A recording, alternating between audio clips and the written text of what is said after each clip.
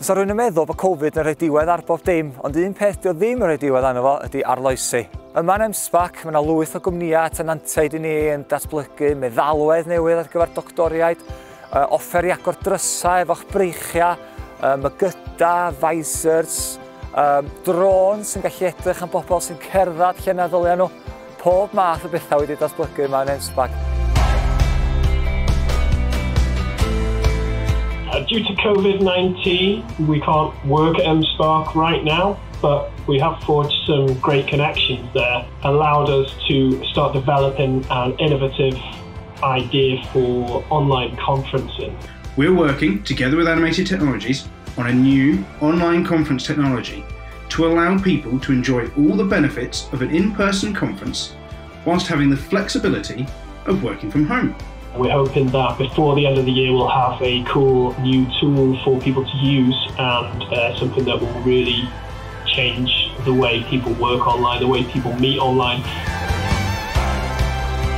We've been developing solutions for store managers uh, and managers of other public places to help keep track of their visitor numbers with simple technology that gives clear guidance outside their stores. So two other innovations, uh, Snorkel, that's not the innovation, the innovation is right here We have um, the 3D printed filter that was printed here in um, MSPAC. If you're working in uh, intensive care, you need a really tight, secure fitting mask with the appropriate filters on top. We took the Welsh Health Hack online to see how we could help people on the forefront of the COVID-19 pandemic. People in the health and care sector who had real problems, either directly related to COVID-19 or the effects of lockdown and people being unable to travel.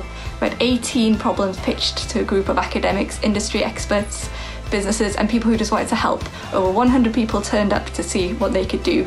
Teams were formed and in just six days we had 13 new and novel solutions ready to be pitched to our dragons. Uh, really looking forward to see what comes out of the health hack tonight. Really excited to see uh, so many challenges have been posted.